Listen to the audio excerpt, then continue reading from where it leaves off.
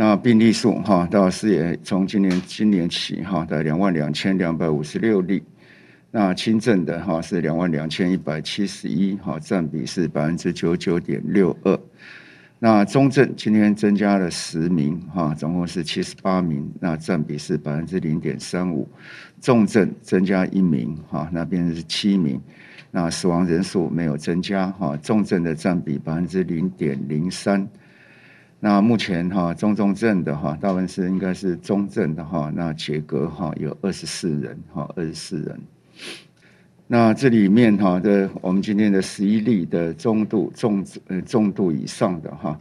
诶，那重度的是一位六十多位呃六十多岁的女性，有打过三剂的疫苗，哦，那她基本上是有抽血、低血钠哈，疑似败血症，那加护病房使用氧气面罩，那也使用瑞德西韦，哦在治疗。那中度的哈，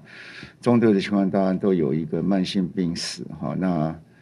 大部分都是这个血氧的浓度哈稍微低于九十四，那药物都是使用瑞德西韦，好，那基本上在胸部的 X 光这几位哈都有肺炎的迹象，然后这里面大概打了三例哈，列到中的有五位哈，那没有打过任何的疫苗的有六位。